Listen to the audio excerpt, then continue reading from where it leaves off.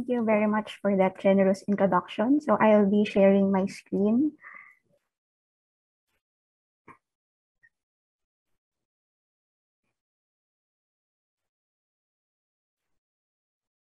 Okay. So good afternoon, uh, everyone. Uh, on behalf of our team, the APPC team, I'll be presenting the background and rationality behind the theme for this year's DPRM hashtag close the gap, accelerate post-pandemic recovery through social justice. So it was initially thought that the COVID-19 pandemic uh, could have uh, been a great uh, equalizer given the expansiveness of its effects and the effects are actually cutting across sectors. Uh, we can see that everyone and anyone, regardless of their background and socioeconomic status, can potentially contract the virus. But is it really a great equalizer?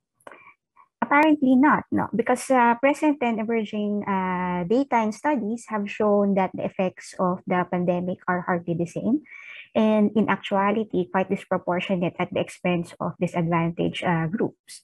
What we see is that the pandemic actually exacerbated the already long-standing inequities in society. Uh, for instance, poverty incidence among the population in the Philippines increased from 16.7% in 2018 to 18.1% in 2021, which erased the significant improvements in poverty reduction before the pandemic. Looking at the poverty incidence by region, it's in the second in the left uh, graph, we see that more than half of these regions showed a rise in poverty incidence. And in the right graph, you can see that in general, but the most affected are the poor, as a larger proportion of the poor had reported experiencing reduced income compared to the richer groups. Now, in the labor market, unemployment rates climbed to unprecedented levels in 2020, the first year of the pandemic, and this can be uh, uh, observed uh, across all regions. Unemployment rates somehow improved in 2021, but this had not gone back yet to pre-pandemic levels. Uh, and we can see that the unemployment rates were still quite high in regions like NCR, Calabarzon, and BARMM. However, the impact was more severe among the poor uh, we can see that a larger proportion of the poor were not able to work as usual, and only a small proportion of them were able to work from home. This means that during the height of the pandemic, the poor workers were more at risk of losing their jobs and of being infected by the COVID-19 virus. In the education front, uh, an education crisis has already been looming in the country even before the pandemic, as 9 out of 10 Filipino children struggle to read simple text. The crisis has been worsened by the pandemic and the impact was again more severe among the poor. We can see from the right uh, graph that based on 2020 data, uh, there was a much larger share of children not attending school among the poorest quintile compared to the richest quintile, and this can be observed in nearly all regions. The gap between the poorest and the richest quintiles were quite wide in almost all Mindanao regions. Health-wise, the pandemic made accessing healthcare harder, especially among the poor. Uh, in 2020, 40% of uh, the poorest Filipinos' health needs were unmet compared to the 16% for their richest counterparts. Also, 62% of Filipino households experienced moderate to severe food insecurity, which was felt mostly by the poor. We argue that these uh, disparities in human capital outcomes are associated with structural drivers like income inequality, poor working, living, and learning conditions, and eroding democratic institutions and political uh, processes that persisted even before the pandemic. Now, for one, income inequality has been a long-standing problem of the Philippines.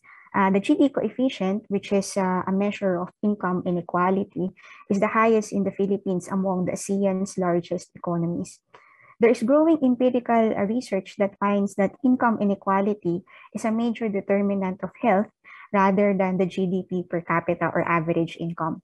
So moreover, an equal society is important for social cohesion and economic uh, mobility. So therefore, income inequality is linked to poor health and well-being outcomes, lower social mobility, and weak social cohesion. Disadvantaged segments of the population are also subject to precarious working conditions, poor living conditions, and inferior learning conditions. For example, informal workers have poor access, if any, to social and labor protection. They also have limited protection against work-related injuries. And then poor health outcomes like low infant uh, survival are more prevalent in areas which do not have adequate water and sanitation facilities Poor living conditions, like in the form of crowding and poor air quality, increase the risk of getting infectious diseases and the spread of the COVID-19 virus. Students from low-income households and marginalized groups have limited access to high-quality education, technology, and other infrastructure needed for learning. So the severe and disproportionate impacts of the COVID-19 pandemic reflect the deep-seated structural inequalities and inequities in society. So we want to emphasize that it's important to make social justice the front and center of the post-pandemic recovery plan. But what's social justice? According to Rawls, at its core, social justice is assuring the protection of equal access to liberties, rights, and opportunities, as well as taking care of the least advantaged members of society.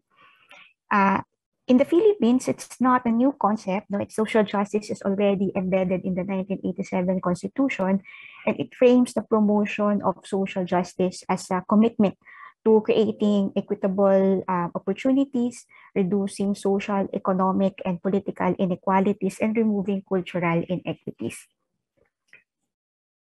So just a short background, social justice is underpinned by uh, five key pillars. So equal opportunity to access resources, voice, wherein everyone can participate in the decision-making process, diversity, such that discriminatory practices are prohibited, human rights, and equity, such that the needs of specific groups are addressed to ensure similar outcomes as the general population. In this year's DPRM, we identify three broad sectors where social injustice largely manifests. So public health infrastructure, education and labor, and environment. When it comes to health, uh, large disparities in health outcomes uh, have persisted in the Philippines. The infant mortality rates in wealthier regions like NCR and Calabarzon were similar to most upper middle income countries, while the infant mortality rate in BARMM was comparable to that of the poorest countries. Infant and child mortality rates also show a large, dispropor uh, large disparity across socioeconomic uh, groups. So we can see in the right graph no, where mortality rates are found to be highest among the poorest groups.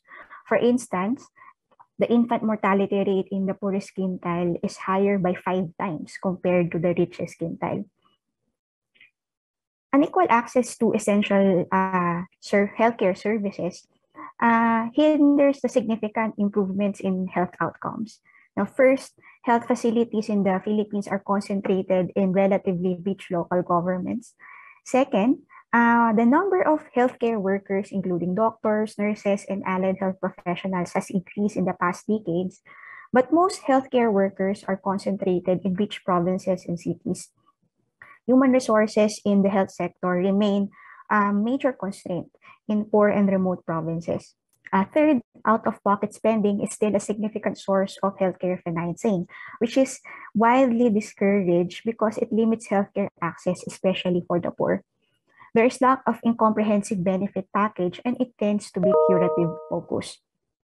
So to achieve social justice in health, uh, the implementation of universal health healthcare should be strengthened and this entails genuinely expanding population co coverage, expanding health benefits to include primary care, and increasing support value and financial protection.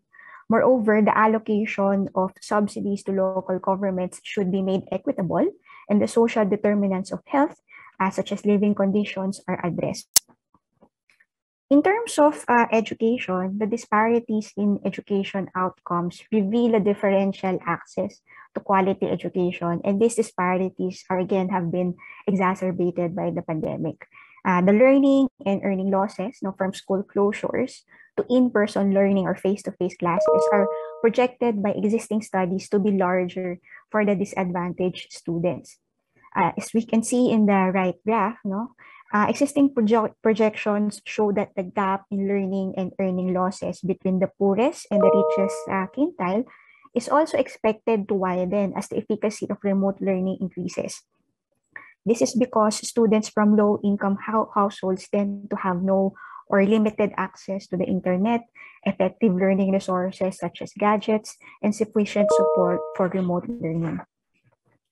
The thing is, education is critical for ensuring access to decent work and for social mobility. So inequities in access to quality education as well as in lifelong learning and other training lead to differential opportunities for obtaining decent work. However, no one challenge in obtaining decent uh, work in the Philippines is the extent of the informal sector. So the in, uh, informality is prevalent in the labor market, which is usually associated with low wages and limited job security and social protection. We see informal employment had been declining in the past years, so as we can see in the graph, but there appears to be an uptick of informal employment during the pandemic.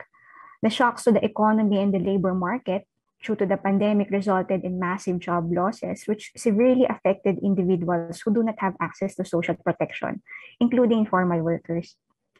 And then the acceleration of digitalization of uh, work during the pandemic led to the creation of high quality jobs, but it also contributed to the growing informality of work. So in turn, this raises the concern about increasing inequality, rising informality, and widening gaps on social protection. So from a social justice uh, perspective, quality education involves three dimensions. So first is inclusion, meaning access to quality education and opportunities for realizing learning outcomes. Second is relevance, which is connected to how meaningful learning outcomes are. And democracy, which involves participation in decisions about educational quality. So in the labor market front, the formalization of work and the expansion of social protection schemes can foster the advancement of decent work and its opportunities. Now, when it comes to environment concerns, uh, the Philippines has always been highly exposed to disaster risks like uh, geological, hydrometeorological, and man-induced hazards. This includes exposure to cyclones, earthquakes, volcanic eruptions, terrorism, and more recently, the COVID-19 pandemic. So globally, the Philippines is recognized as one of the countries prone to uh, disaster risk and hazards. Uh, the Inform uh, Risk Index, which is a risk assessment for humanitarian crises and disasters, ranked the Philippines in 2022 as the top one for vulnerability to natural disasters. And then last year, the Philippines was the fourth in the Global Risk Index. It is therefore important to strengthen community resilience, which is the core of the climate change and disaster risk reduction and management policy. So these are the thematic areas no, for environment. So on disaster risk and climate change, the poor and the marginalized are the most vulnerable. And unfortunately, there is limited bottom uh, up representation from marginalized uh, for marginalized communities in non-government sectors. There are also huge disparities when it comes to allocation of uh, resources in which it's the richest uh, LGUs who are getting more resources. On the legal adjudication processes, the Philippines ranks high in terms of related deaths and environmental cases globally.